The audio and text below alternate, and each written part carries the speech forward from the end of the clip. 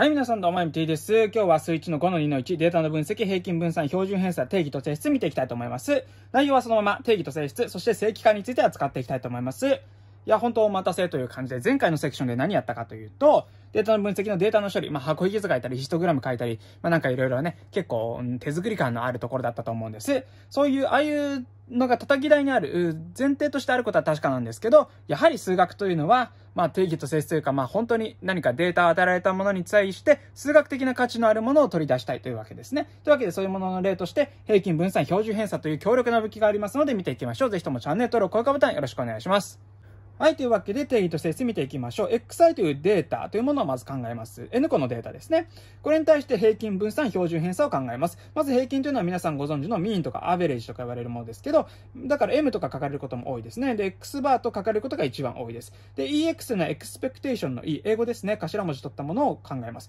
で、こういうふうにいろいろ書かれるわけですけど、ものとしては n 分の全ての和というわけです。このデータの和を取って n 等分したというだけなんですね。で、まあ、これは皆さん小学校以来知ってると思うんですけど、ちょっと記号がね、点々点ってちょっとお粗末すぎませんかというわけで、よくこういう風に書かれることになります。こういうシグマ記号というものを使って、これの n 等分という風に書くわけですね。まあ、今の段階ではこれはそういう風なもんだと思っていてください。1から n まで走るときに、これの和を取るという記号です。まあ、ただそれだけですね。本格的には数 2b の方でやることになると思いますけれども、まあ、ここでは押さえておきましょう。で、ここでこの記号を使って平均の意味をちょっと考えておきたいんですね。今、x バーというのは、シグマの xi の n 等分ということなんですけど、実は次のように変形することができます。どういうことかというと、xi-x バー平均からのズレを考えて全部足し合わせると0になるということなんですね。これはなかなかちょうどいい感じじゃないでしょうか。例えばなんか点がこういうふうに x1、xn ってこう点がバラバラこうデータがあるわけですね。この辺になんか重心っぽいものがあるはずなんです。で、この差を全部足し合わせたりすると、まあ、マイナスのものはあるし、プラスのものもあるんだけど、全部足し合わせると0になるということなんですね。まあ、証明は全然簡単です。これ両辺取っ払って定義からね、nx バー、nx バーですね。nx バーイコール xi になって、これ両辺 nx バーを引いてこっち0にしてあげると、こちらは n 個の和なんですね。で、同じものを n 個引くというわけです。これね、これ中身入れてあげてしまうと、要は、ま、書き方の問題で、これ n 個の和なんで、それ全部内側に入れてあげるとこういう風になっているというわけです。ですけれども、よく、まあ、こういう証明なんかよりこう意味を考えてもらうとね、先ほどの絵で描いたような、この x バー、中心からのズレを考えると全部0になるというのがまさに平均なんだということです。こういうのを、まあ、一時のモーメントとかいうわけですけど、そういうようなもんだと思ってください。というわけで、今の性質は結構重要なので、この辺に書いておきましょう。シグマの xi。x バーがが全部0になるということなんですね。で、次に分散参りましょう。分散というのはどういうことかというと、デビエーションと呼ばれる、まあ、バイブレーションと呼ばれることもありますけど、それの V なんですが、こういうような量です。この記号で言うと、もうちょっとかっこよく書くことができて、まあ、A 括弧 C ですね。xi-x バー平均値からの2乗の和なんですね。で、ありゃ、なんで2乗なんじゃいと思うかもしれないんですけど、これもし2乗なかったとしてください。そうするとこれはまあ、一たまりで0になるんですね。まあ、なかった、まあ、単純に平均の定義からですよ。で、じゃあ何してんのかってことなんですけど、どうしてもですね、ギャップを測りたかったんです。先ほどの例で言うと、なんか中心点みたいなのがあって、こうやって偏差って言われるものこの差のことを偏差と言うんですが、これを足し合わせて平均を考えました。でもこのずれ込みを本当は考えたい。ここを中心にして、もう平均点からのずれを考えたいんですね。でもそのまま足すと0になっちゃうから、2乗して、こう正の値として全部実現することによって単純に絶対値として出てきてほしいなということなんです。ですから他の方法としてこういう考え方もありますよ。今言ったようにちょっと口を滑らませましたが絶対値を取って和を取ったっていいじゃないかという案もあります。実はそれもあるんですね。これは大学以上でやっていただくと分かるんですけどただこれにはちょっと問題があって、絶対値って数学的に非常に取り扱いにくいんですね。微分ができなくなります。なので、二乗にすれば、まあまあ、まだいいやってことで、二乗を取ってずれ込みを考え、その後にルートを取って元に戻すという態度であります。というのは、なぜルートを取るかということなんですけど、二乗したからなんですが、単位をちょっと考えてみてください。例えばデータとして人の体重とか身長、まあ体重でいきましょう。キログラムの場合、平均っていうのはキログラム足して n 等分するだけですから、そのまま単位キログラムですね。ただし2乗すると、これはキログラムの2乗になっちゃうんです。これはちょっと都合が悪いですね。というわけで、ルート取って単位を元に戻すという感じでもいいでしょう。というわけで、単位の揃え方。まあ、データとしてはこちらとこちらの、まあ、元のデータの単位を合わせたというわけです。分散はこのままでは単位がずれてしまっているので、ちょっと厄介だというわけですね。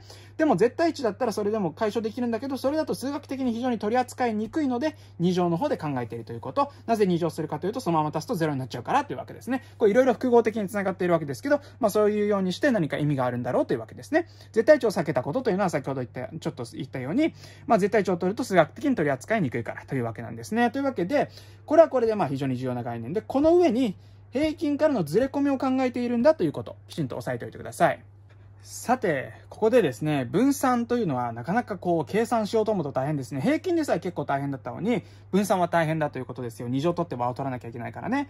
だけど、ちょっとうまい方法がありまして、実はこんな定理が成り立ちます。つまり、平均によって分散が計算できるんだということなんですね。これどういうことかというと、2乗の平均引く平均の2乗を取ると分散が出てくるということなんですね。もともとはこの xi というデータがあって、これの平均値というものがあって、それの2乗というのがこの部分です。一方でデータというのは、まあ、それぞれのデータを2乗することも可能です。数値ですからね。なので2乗を全体で考えます。つまり、x 1点点点 n まであって、この辺に x1、x2、点点点 xn というのがあるんですけど、単純にこれを2乗したものです。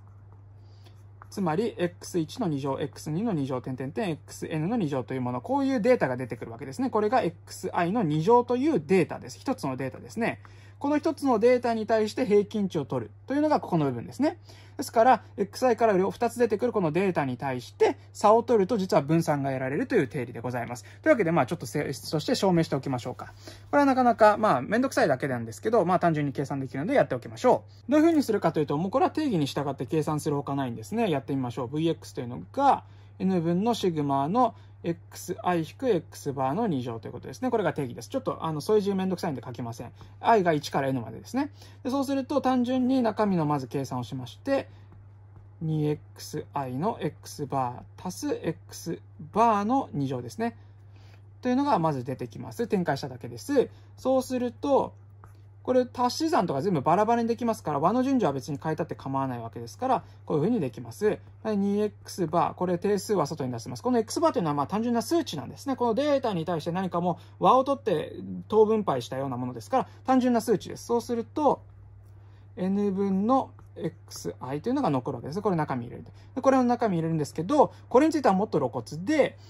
これ x バーの2乗という何か定数を1から n まで n 回足し続けなさいというわけですから、これはもうこんな感じなんですよ。n 個、n 個足し合わせるだけですだけですから、n 倍するだけなんですね。というわけで、ここについては別に n が約分されるだけです。で、他の部分については、これは先ほど言ったように、xi の2乗というデータの和を取って n で割るわけですから、x の2乗の平均値ということになってるわけですね。で、残りの部分は順に見ていくと、ここはまさに平均値というわけで、これ2乗になるわけですね。2乗になって、平均の2乗です。気をつけてください。こちらは2乗の平均で、こちら平均の2乗ですね。で、この部分が平均の2乗というのがもともとあったわけですから、ここの部分がマイナス x バーの2乗、つまり平均の2乗になっているというわけで、念願の式が出てきました。2乗の平均から平均の2乗を引くという計算が、えー、分散を与えるということですね。はい、というわけで続きまして、いろいろな説を見ていきましょう。先ほどのはこれですね。でこれについてはちょっと注意しておくと、具体的な計算手順を与えていると見ることもできます。平均であれば、まあ、なんとかなるから、これ使って分散をあの計算しようというわけですね。定義から直接やることもできますけど、2乗の和みたいなのを取るのがちょっと面倒だという時は、これを使う手もあります。ですけれども、まあ、どちらも変わりませんね。むしろ分散と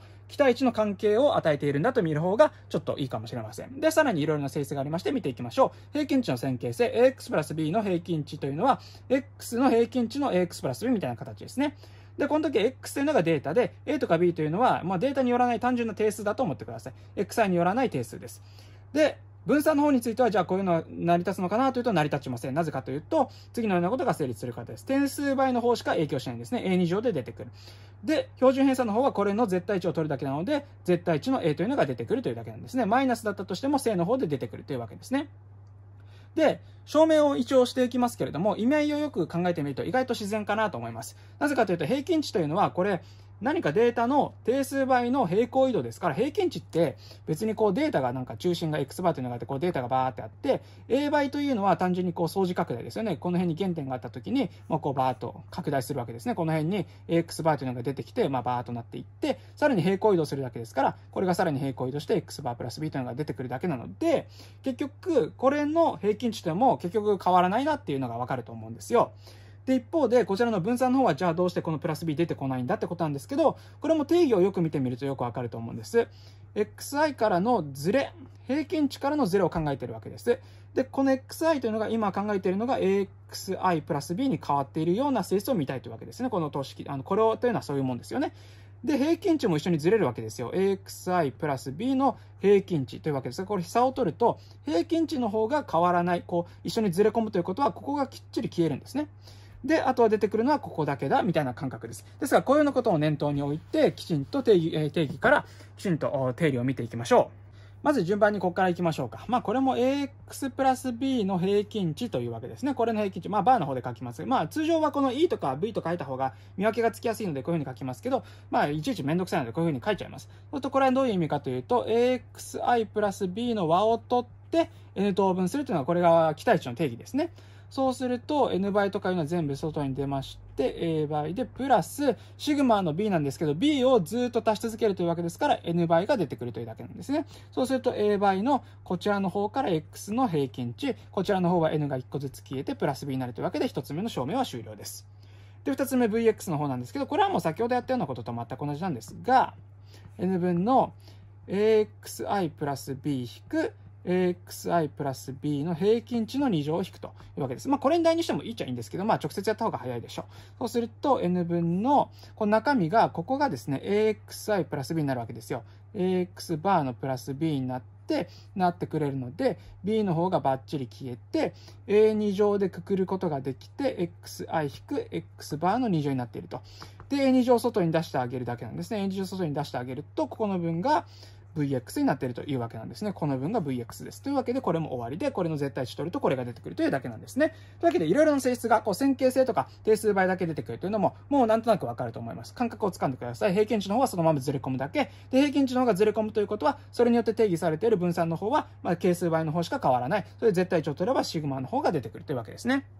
はい、というわけで続きまして正規化いきましょう。正規化というのは何かというと、実はデータの加工の一種に過ぎません。まあ、どういうものかをまず見ておきましょう。データ xi というものに対して、ui という新たなデータを xi から平均を引いて、標準偏差で割ったもの、シグマ分の xi-x バーと定義すると、実は平均が0になり標準偏差が1になるということは分かっています。実は先ほどの性質からすぐに分かるんですね。この、例えば平均取ったりすると、まあ、定数倍は外に出て、平均値引く平均値になるので0になるとかね。あとは、まあ、シグマ記号、いわゆる標準偏差を取ったりすると、この平行移動は関係なくて、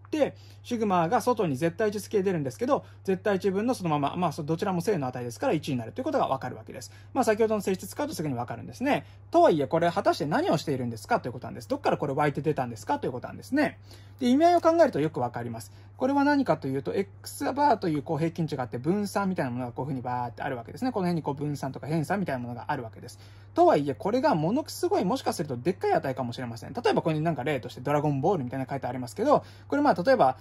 戦闘力だと思ってください。終盤戦闘力も爆上がりでよくわかんないんですよ。なので、なんか何億とかいうレベルになってきていると思うので、もうもはや出てこないわけですけど、それだとまあよくわかんないじゃないですか。要するに知りたいことは、誰が誰に勝つかみたいなことなんですよ。ベジータがこの辺にいてて、まあ悟空がこの辺にいるかどうかみたいなことを知りたいわけで、そうするとこのギャップだけ知りたいわけですよね。ですからこの数値そのものには意味がありません。10のなんか8乗とかになったところでしょうがないんですよ。なので、ここを中心に考えるという意味で、中心を考えると、平均を引くという単純な作業になります。つまりこの辺に原点があるんですけど、これ全部平行移動して、ここに、ここを原点と思ってこういう風なデータにするわけですね。さらにばらつきを整えるため、ここにですね、ヤムチャとかやると絶対邪魔なんですよ。こんなんもう話になりませんから、まあこの辺全部無駄なので、この幅を単一化するために、さらに拡大縮小することによって1という単位に収めます。これがいわゆる正規化でやっていることなんですね。まあドラゴンボールとかまあそういう具体的な例を考えるとちょっとわかりやすいかなと思いますので紹介いたしました。要はやっていることは、正規化というのは元のデータの数値とかには興味がない、それぞれのばらつき具合とか平均のところから見たばらつき具合を知りたいときには、平均を引いて、まあ適当な単位化するという、まあ、正規化すると言いますけど、このことを、それをするということなんですね。それに対応していると。そうすると、まあ、なんか見やすいだろうなということになっています。なので、まあ、原理的にはそんなめちゃくちゃ重要ではありません。ですけど、理論的には重要なんですね。ですけれども、まあ、数値的にはそんなに重要ではないんです。とはいえ、まあ、計算が非常に楽になると言いますか、そういうデータの性質を保ったまま、数値が非常に楽になるし、まあ、コンピューターを圧迫しないということですから、それは非常に重要だということですね。で、実際にこういうことがどこで扱われているのか、使われているのかということは、まあ、発展の方で偏差値的な話をしたいと思いますので、ぜひとも興味があればそちらの方もご覧ください。というわけで、えー、次の動画もご覧ください。さよなら。